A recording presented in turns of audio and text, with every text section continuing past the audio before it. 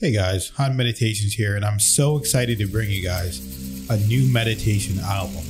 Entranced to Serenity, streaming now on all platforms. See you there. All right, so I've still been thinking about that podcast with Neal that we did. And Oh, if you haven't seen that podcast, definitely go check that out. We had Neal Bakshi on. He's an ex uh, vice president of banking at Goldman Sachs. He's a what was that? He's an ex vice president of banking at Goldman Sachs. He's a really smart guy. And wow, that was such a powerful podcast. We did an angel reading with him. And ever since then, I've been even getting more in touch with spirituality and channeling and just being around people and seeing how special they are and kind of seeing what they can do. I've kind of taken that and being like, well, what more can I do?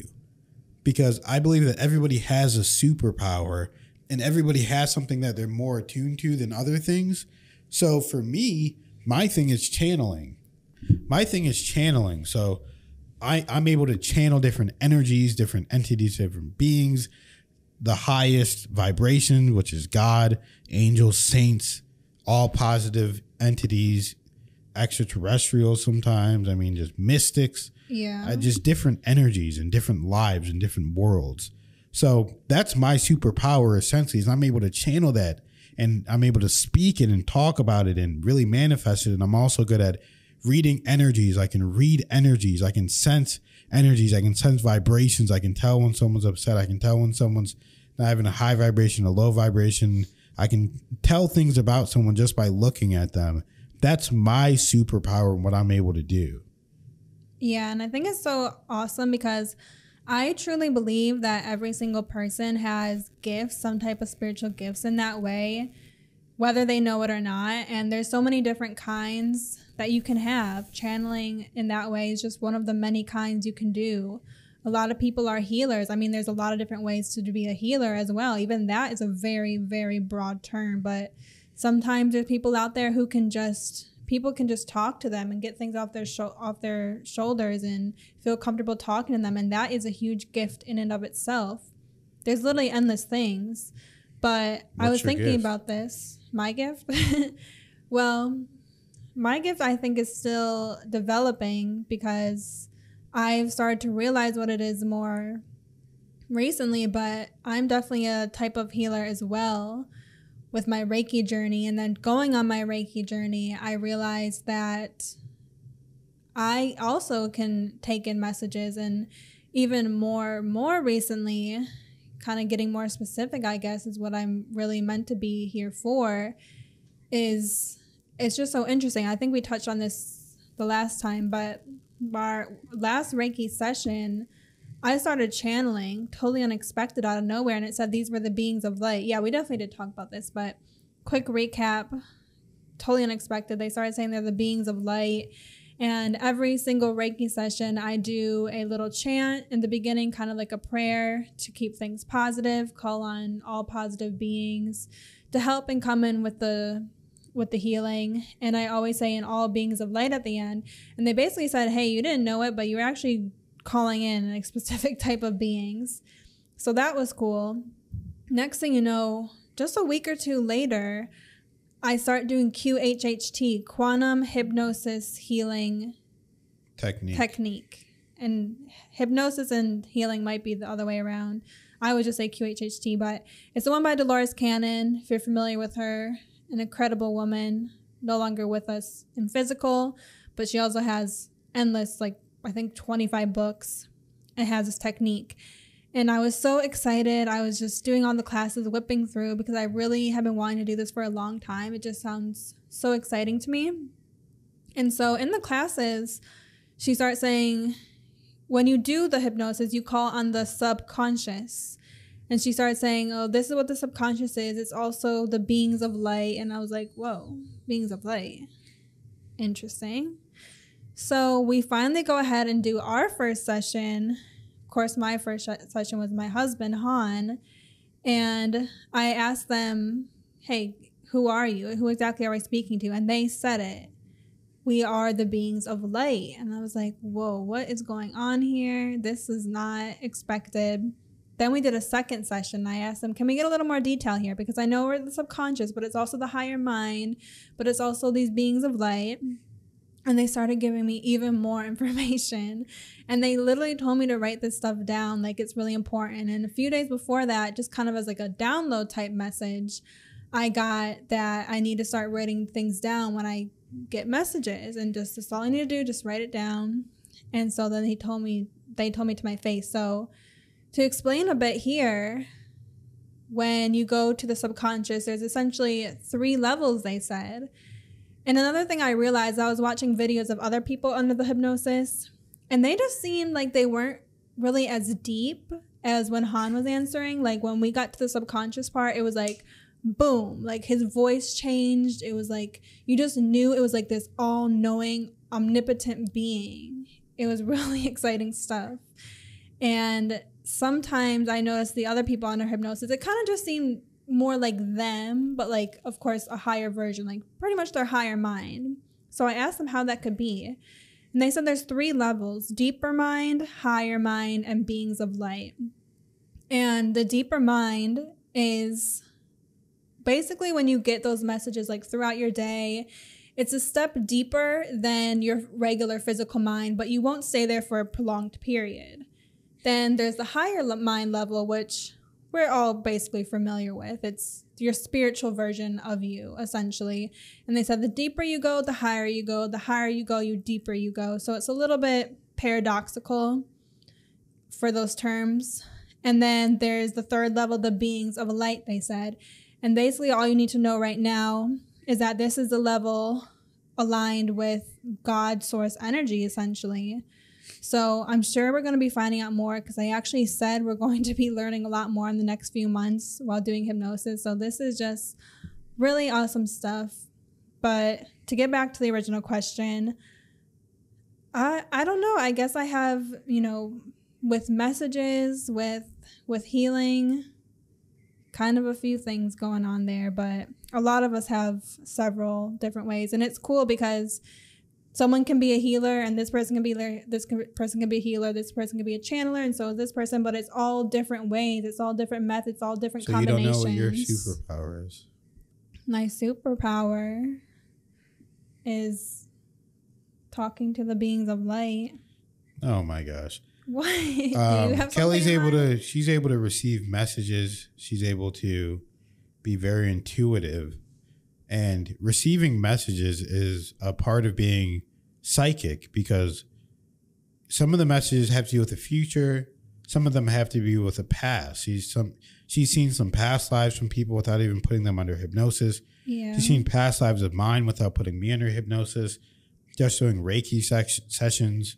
So that's that's a part of being psychic. That's seeing information, seeing and getting messages from things that are in the future or in the past, and you're able to tap into that because all time is now. So you're able to tap into that that space of where all that is is from, which is very interesting. So Yeah, I guess. I mean, I know I have, you know, healing as well, but I guess overall, it definitely is the messages seems to be the most powerful thing I can provide to help people. yeah, healing of course too. Yeah.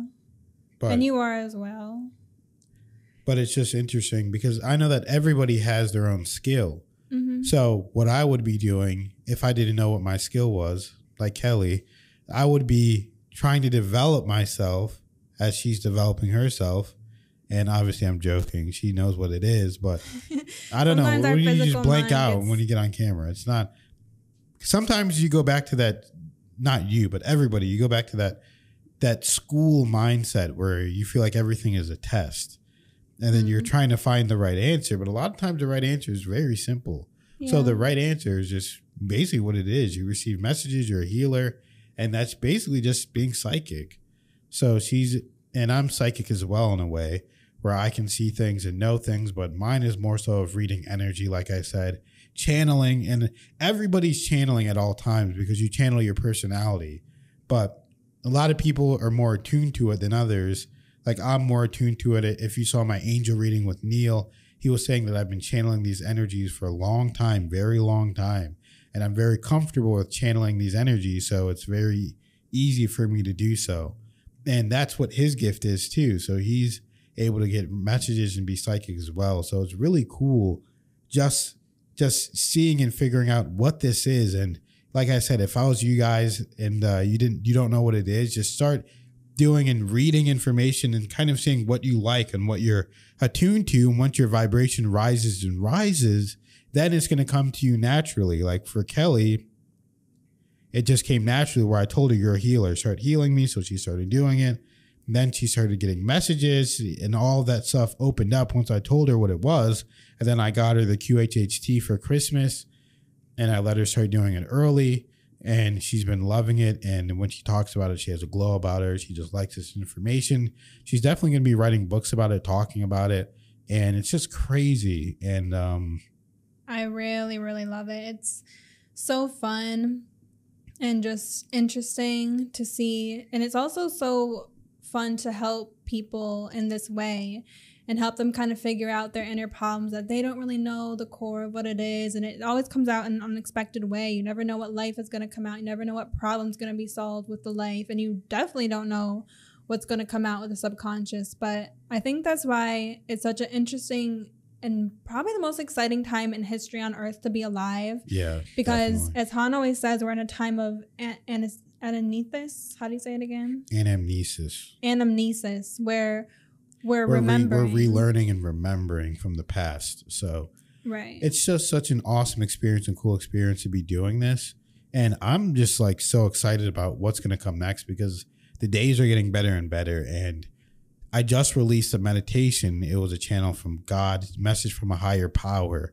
And that, as you guys know, my meditations are completely channeled. I mean, it's so since we've been doing the the QHHT, since we've been doing had the angel reading with Neal, I've been experimenting more, and that was the first meditation, and I'm really just honing in on it and just allowing whatever comes to come, and it's so exciting and fulfilling to be doing that. It really makes me feel just so good to be in a place where I can do spiritual things and just start to be, really explore even more.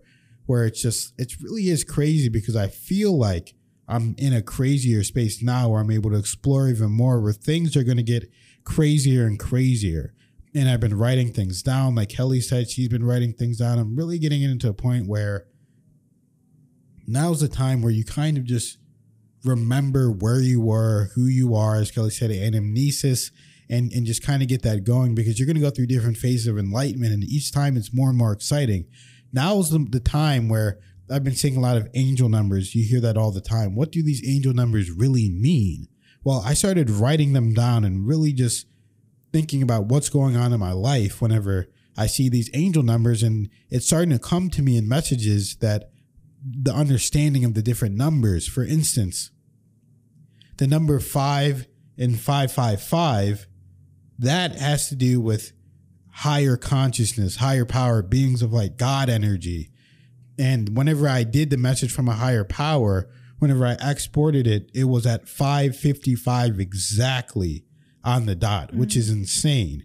And then whenever I exported it, because it's going, it's dropping on Spotify December 21st on my birthday. So that's going to be check out for that all platforms actually. And whenever I export it on there, it was six minutes exactly. And then if you watch it on YouTube, it's eight minutes exactly. So all that just shows perfection. Okay. But 555 is higher energy, higher power. And uh, because that's one of the highest it can go, especially whenever you're going with time and you're looking at a clock, 666, you can't really get that. You can't get 777, 888, or 999. But 555, that's the highest you can go whenever you're looking at a standard clock. So that's why that is associated with a higher power. Now, if you're looking at different numbers, like let's say your birthday is coming up, okay? And you constantly see your birthday. Mine is 1221, as I just said. The winter solstice, the shortest day of the year. That represents in itself the turning point in period in time in which darkness changes into light because it's the darkest day in the year, the shortest day in the year, the shortest day of light in the year, but after that day is the turning point in which light starts to come in longer and for for greater periods in time. So it represents a turning point from negative to positive. That's what it represents. But if Yeah. you're seeing your birthday, no matter what it is, it just means a more personalized version. We actually saw 1221 when we woke up today, right, Kelly? You saw it and I saw it. I did. Yeah. Oh. And, I must uh, have been sleepy. I don't remember. But I, I take screenshots of it too. So But yeah, and also as you can see right here, twelve twenty one. Whenever I got up, it's a very synchronistic number because one two two one. It's very even and yeah, it's just it's awesome. Yeah, and with twelve twenty one, with astronomy, like he's saying, like even if you look at the de- the degrees of how we're towards the sun, the degrees are going shorter, shorter, shorter because you know the days are getting shorter, and then after the twenty first is the exact day that it starts going up a degree to go more towards the light, more towards the sun. So that's why originally winter solstice through Christmas Day was celebrated because these three days it would go up the full de- one full degree, I believe is what it was. Mm-hmm. So just some history with that. Yeah, and so if you're seeing other numbers, okay, one, two, three, what does one, two, three mean? Now, this came to me in a message as well. One, two, three means that you're in the phase of changing and going to another level. So if you think about it, one, two, three, each one is one step up. So now you're at the point where you're going to have to take steps up, up, up. Okay. And that means it's at the beginning phases of a new level. So now you're reaching a new level and it's the beginning phases. You have to take the first step, second step, and third step. Now, if you're seeing two, three, four, that means that you're in the the the the uh, the middle zone of that area. So you're in the middle zone of that area. So, and then again, three, four, five. That means you're going to be at the, you know, even higher up. Four, five, six Mhm. is going to be the end of it. Okay, because there is no seven, eight, nine. If we're just going on A clock. the yeah the clock. So you just really have to interpret these in different ways. Okay, one one one is very synchronistic as well. Or what does l- 111 represent? Would you say? Or one one one one. Eleven yeah, eleven. yep, eleven eleven. These are divine numbers. Everyone knows eleven eleven.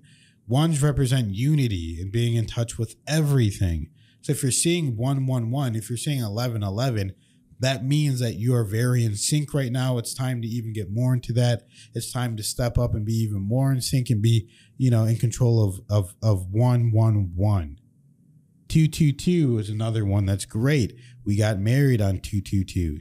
222 22 that's when we got married Yep. so that is another powerful number that represents unity it remembers it represents togetherness because you have two so two of one is obviously two people you know what about twin twin flames you know hmm. about being together and then 333 is another synchronistic number the number 3 represents luck it represents freedom and it represents just being synchronistic as a whole. So if you're seeing threes, that means you're you're very lucky. You have that freedom going, and you need to you need to take advantage of it in that moment. And then nice. four four four is is going to represent different things to different people, but just in general, the number four four four is very synchronistic and it's very powerful. And to me, whenever I see four four four, that has to do in a sense with business. It has to do with power. It has to do with just honing in on what i'm doing right now. I know that whatever i'm doing in this moment is there's an opportunity coming up and i need to take advantage of it so if i see 444 i kind of just look around and i just diagnose what's happening what's going on okay there's going to be something that's going to come up and then this we got to get to it so that's what those angel numbers mean whenever you're seeing it and for different people, it's going to mean different things, but this is just a general sense of what angel numbers mean. Yeah. And it can be very specific like that, but sometimes every now and again, it's just to get that message across. Not necessarily, hey, look really into this number, mm-hmm. but sometimes they just want you to know, hey, you're guided, we're with you, you're on the right track. And it's just a nice way because you know the universe works with synchronicity and the spirit side works works with synchronicity to to communicate with us Exactly. because they can just you know talk so quickly we have to use all these words and these explanations but they're they think it's funny that we have to talk so much to get a point across kind of like i am now Yeah, so it actually, like Kelly said, sometimes it's just to show you, hey, you're on the right track. It's not Yeah. always, hey, this is this means this, this means that. But I've noticed, and I've been writing it down and really cataloging it. That's what it's been meaning in a general sense to me. So you can always just take that and, and, and take it with a grain of salt and realize what's going on. But let's say you're nervous for an appointment or something, and you see three three three, you know everything's going to be okay. Mhm. You can also see your spirit guides. So mine are hawks, birds of prey, eagles. Those those are my spirit guides. So whenever I see a hawk flying by, like we did today on the Yeah, it's highway, really which like is, gliding like a falcon. us. And it was like have been a wow, it was like wow, that's uh.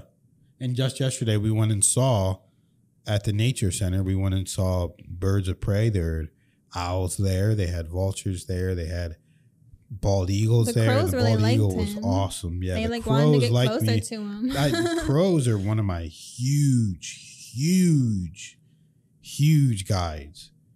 So whenever I had my experience with Thoth the Atlantean, it was a crow. trying to find this picture. I'm not sure what animals are mine. you can see this. Now these, it's in a cage, but cute. they only have animals that are rehabilitating, so they don't just take animals and Only lock them up. and help mean, them get better. incredibly huge. Then they so- release them back to the nature. So that's why we like that one. It's not like a zoo. They're actually just helping the animals. Yeah, But I'm actually, I think butterflies are mine. A lot of times butterflies will come close to me. Um, I think cardinals too. Mm. Yeah, and and even with birds, one of my friends, he's like he's a secret kook, okay? He doesn't want people to know that he's kooky like that, but I know him. I know this dude. So you, he can't fool me. He can't trick me. I know that we he's a kook. He just doesn't want people to know. He's very analytical, very left brain guy. He's uh he has a PE firm. He's just crunching numbers all day. But he I always tell him about these crazy experiences I have and sometimes I'm like, this guy probably thinks I'm insane, but you know, deep down I want him to because that's what friends are for, right? So we went on a walk one day. He was in town. I'm like, you know, he's he's busy. I'm busy. I'm like, yo, let's just meet up. Let's go on a walk real quick. We go to one location. I'm like, all right, let's go to one more. We're just having a conversation. We're talking. We're laughing. We get to this park. There's these huge, these two owls, and they just we look in the tree. There's two separate owls, and we see them like swooping and, and flying, and then they just sit on the tree right in front of us, and they just start staring at us and start moving like really like weird, you know, looking at us move. You know, owls move and they look weird, so they're looking at us, they're moving, and we're like, okay, that's weird. And then a butterfly came and it landed right on his third eye, right here, and then another one came and landed right on me, on my shoulder, and I have it on video too. So it's not so the, and then after that he was like, okay, that's that's crazy. Like he had to be like he had to admit like that was a, high synchronicity. So now he's he's part owl. So, but what else did we do uh, yesterday, Kelly? Yesterday. Yeah, yesterday. You remember? Well, we oh we saw a movie. We went to dinner and we saw Went a movie. dinner. Little date night. We What- what saw we a see? the boy in the heron. Another bird. Yeah, the boy. oh yeah, and we got close to a heron when we did your photos too. Yeah, yeah, we did. Yeah, we did my photo shoot. If you see it, you'll see it on my Instagram. If you, follow me on Instagram if you don't already. But anyway, so we saw the boy and the heron. This is going to be very light spoilers. This isn't anything crazy. This is stuff that's like on the trailer, whatever. If you don't want to know anything, then Studio I understand. But yeah, I believe it's pronounced Ghibli. Really? Yeah, I always thought it was Ghibli, but I think it's Ghibli. Oh wow. But anyways, Everyone says Ghibli in the U.S. Yeah, I, I, I say Ghibli too, and I'm going to continue saying Ghibli. But we saw The Boy and the Heron, and I thought that it was a spectacular movie. Now, It was good. it was crazy because what I, man, it was just a phenomenon. It was a masterpiece of a movie because it just moved you the entire time, and it felt so rooted in reality but fantasy at the same time. And one of my favorite parts about the movie was the main character Mahito. Even in the beginning, he's not talking a lot, is he? Yeah, I noticed that. He wasn't talking. He it was wasn't like they just needed to have a bunch of dialogue. And he was just observing his world. His world was changing around him. Things were happening. And he just walked and you could just sense what he was going through yeah. without him needing to speak and talk the entire time. And I love that because during that whole time, you can just sit and you can take the world in. Whenever you're watching something from Studio Ghibli and Miyazaki, you just like to just take it in. You like to just sit there and watch it. Yeah, and what I like about that film and like the Studio Ghibli's is that they'll do it'll show really mundane things such as them just putting on their clothes and like it'll really like show all these parts that you would think would be boring but it's actually really it like it really sucks you in and like you really it's just like interesting and then you can really kind of observe and it kind of just feels like you're in like a lucid dream or something And it's hand drawn. It's it's hand drawn animation. You don't see that very often. That need to start coming back. And man, when I tell you it's beautiful, it's just it had a lot of callbacks from different movies, and it just looked so good. And man, it was just crazy. Now, this is a light spoiler I'm going to get into, but the old man at the end, um, the keeper of the whole thing, yeah he was the the grand uncle. He represents uh, Miyazaki in a way because at the end, spoiler, spoiler. At the end, he was saying that the world is crumbling, and he had to um, find a, successor. The world was crumbling, and he had to find a successor to keep the world going. But then he was hugging the girl, and he's like, "I have to let you go, and I have to let him go." Meet, uh, what's his name? Mi, Mihato? The The bird? boy. Oh, the ha- Hamato No, I think it was Hato Hadame. no, it was Mi, Mihato, I Something like that. H A. I know there's an H and an A and an M in there. No, I, I believe it's Miyato. Anyways, he was saying he had to let them go. And that's like Miyazaki because this is his last film. So hmm. he was thinking he has to let this world go. He has to let everyone go because he's 82 years old and he was unable to find a successor. That's why they haven't been making movies like that. And through COVID and everything, this took a long time to make. So he was feeling like I got to let this whole thing go. So the whole movie was kind of an homage to his own personal life because his dad, he grew up in the 40s, World War II, and his dad was a manufacturer for planes. He was mm. upper middle class. And so that was he was just like the boy Mahito and he was like the the old man, the grand uncle as well in that mm. sense. So the movie really revolved himself and he loves flight. He loves birds. He loves I mean, man, that movie was just so incredible. It made me feel emotional. It didn't make me want to cry, but now that I'm thinking about it now, it really makes me feel emotional. And just seeing the world itself and how beautiful it was, it was fantastic. Yeah, it's just to see someone really live out their purpose like that and follow their passion all the way through, through like literally their entire lives, and just craft something so beautiful. And you can tell how much it means to them. There's just something Yeah. to be said there when someone creates something so beautiful, and you can just you can just feel that it's they're so so passionate about it, and it just comes through in volumes through the film or the work of art or whatever it may be. Yeah, you can tell he's a true artist. And he has, man, I mean, that movie I believe took 10 years to make. I mean, he's 82. I hope he has one more in him, or I hope he can find a successor because that movie was a masterpiece. I mean, just thinking about it, it was just like, and you know how Studio Ghibli, every time, if we just look at the food that they're making, the food, and they slice into the bread, whenever, even when he's at the sink and he's pouring the water out, the animation and what it looks like is just so phenomenal. The world building is insane. And I know that a lot of people were, talk, even when we were leaving the theater, I heard people talking about this and that and what's this.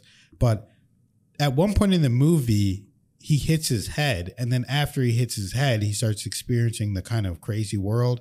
So I know a lot of people were thinking like, hey, did he make it up? Did he go insane? Is it because he hit his head? It was just a dream. It was just a crazy world. But I don't think that's the case. But I think he did want it to be up for interpretation.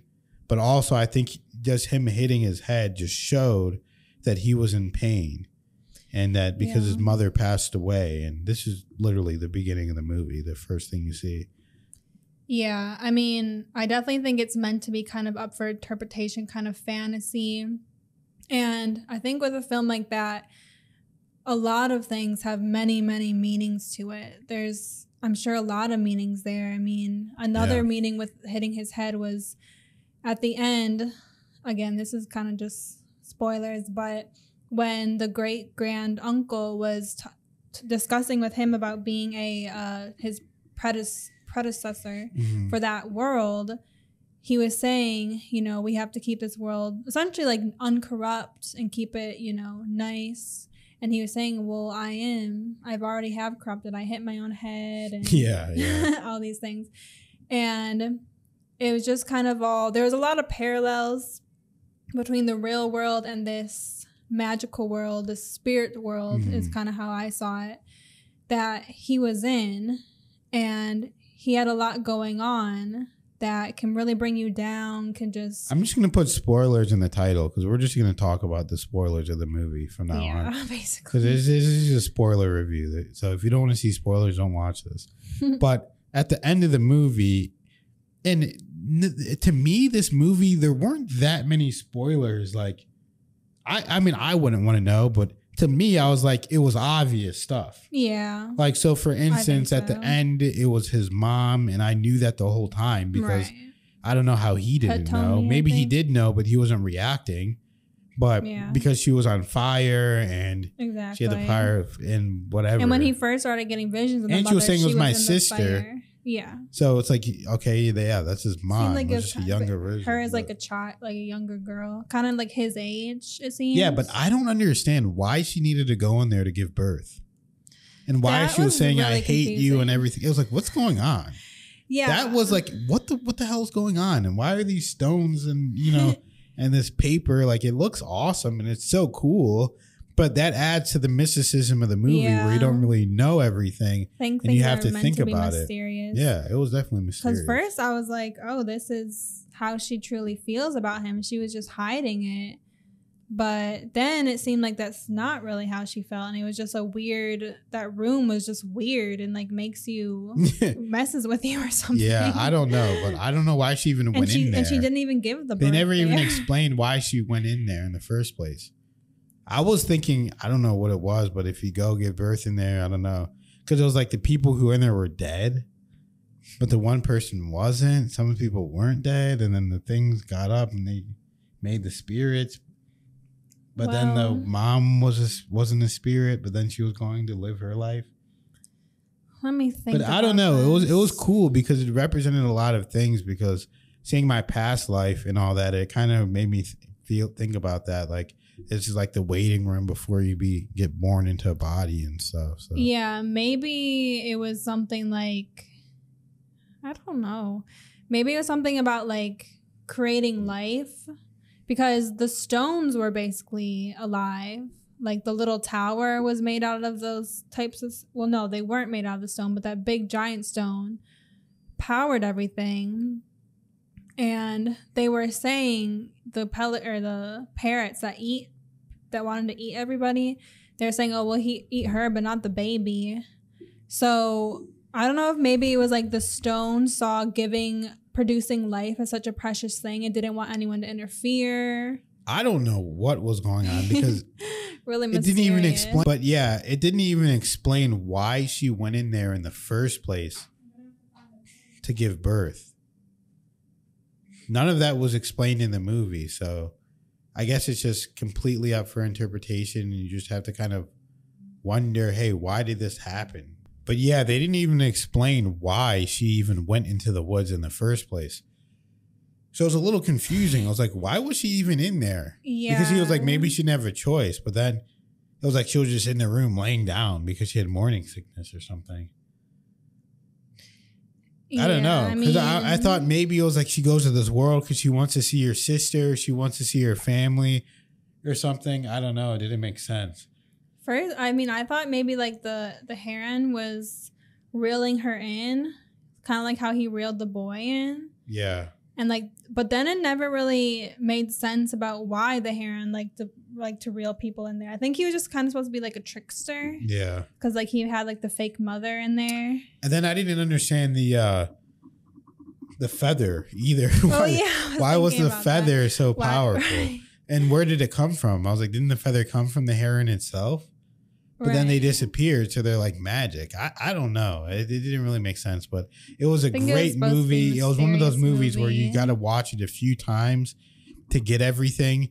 And I do know that whenever Miyazaki, his he was younger, his mother was sick, and he thought she was gonna die. She ended up not dying, but she had tuberculosis, and Mm. um, she was very sick. So that's an interesting thing to think about too. But anyways, so another thing I do want to talk about before we end is I saw my past lives, which is absolutely crazy. If you guys want to see, well, we're gonna start putting this on the YouTube. We're gonna start putting transcripts of what's going on in people's past lives.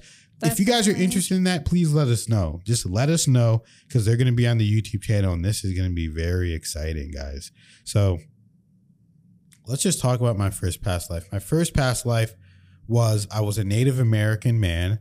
I had long hair. I had a horse, and I was in a a tribe of people. We had a lot of horses, and it was a pretty big group of people. It was a pretty big village, but it was just a a, a, pretty boring and mundane experience living there. And we went to a couple important dates. One was a new chief getting elected. I wasn't, I didn't have any feeling about it either way. It was just like, okay, this is happening, and it was pretty cool. Yeah, people were celebrating drinking water and eating and stuff barbecue fires, yeah, stuff like that was happening. But then she went to another important day, and I I was a hunter. I was gone. I came back. My wife was on the ground. She had an arrow in her chest. She was dead by the time I already got there. And we had a son. I don't know. I I had a feeling my son had already died, or maybe from sickness or something before, but he was he was already gone. And I came back. I saw my wife and I was just really angry. I was really mad. I wanted revenge really bad. And I was, Kelly was asking me questions. I wasn't even concerned about it, how we're going to bury her, nothing. Yeah. I just wanted to get revenge. So I went and I went to go fight some of the people. I ended up four of the people. I saw four of the people. Um, I tried to kill them. In the woods. And um, it was, uh, yeah, it, it wasn't necessarily in the woods. It was, oh, okay. so it was just you know somewhere maybe by their encampment or something but four of them came and then they ended up killing me they cut my head off and they were like holding it and crazy stuff you know and i learned from that lesson that i don't have to be as protective all the time just because that happened in that life. Doesn't mean it's going to happen in this life because kelly and i were always together. We just work together. We're always together all the time. Hmm so it's just an interesting dynamic that we have, and we both enjoy it. It's not like I don't want to be with her, she doesn't want to be with me. We both like being around each other, but just seeing that past life just it really kind of solidified some things, just seeing that and knowing that. And then yeah, that's why it's interesting because you just never know what the past life's gonna be and what kind of lesson it is and what kind of thing you're kind of maybe just holding on to a little bit. Maybe it's a little more, maybe it's a little bit less, Mhm. but kind of just letting it seep into this life and something you might not even think that it would really be something you need to know or that it would be something through, affecting you. Yeah. Yeah, so then my but- second life, um, Kelly did it again, and I was like, I don't see anything the whole time. I was like, I don't see anything. I don't know, you know. And she was asking questions and just, you know, and I was explaining it, but I could see energy swirling. It was weird because the senses don't work in the same way. It, it was just, I can't really describe it, but I didn't have eyes or a body. I was just an energy being. It almost felt like I was just an orb of light or something, but I could just be wherever I wanted and do whatever I want. and I had the sense that I just worked with energies, and I could see energy swirling like a yin, like a yin and yang. It looked like that, just energy swirling and going around, and but I, I would just work in those energies, and then Kelly fast forward to me. I had been there for thousands of years, working with this energy, and I was just content to be there. And then a, a huge light ended up coming down whenever she fast forwarded to the last day of my life and it just looked like it looked like a light just huge like strands of light coming down from the from the ether of reality and like almost a huge portal opened up and I just knew I had to go through it.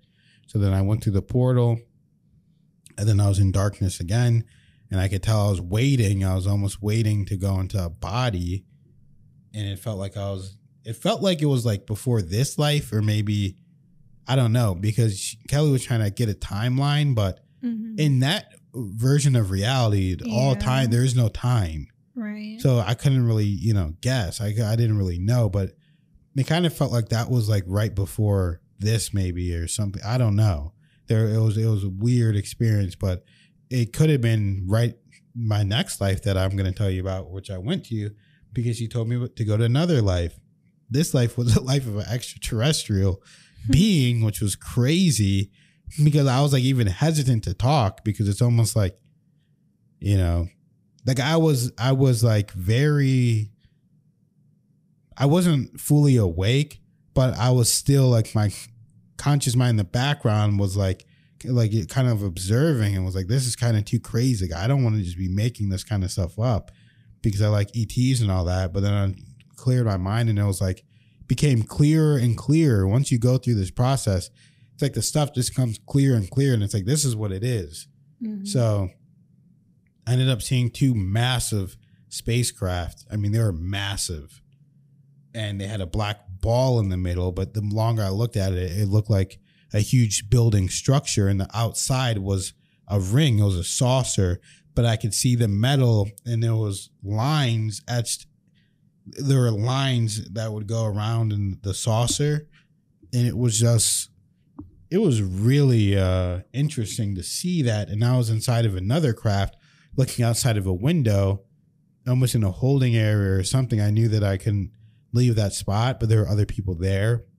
But I could feel like I had like three fingers. It wasn't like the normal hand. I couldn't see my feet, but it felt like I only had three fingers. And it felt like there was some kind of antennas or something on the head. I don't know if the eyes were on the antennas or something, but it looked like the skin was greenish and it just looked like odd odd beings. He had a spacesuit on too. Yeah, silver spacecraft.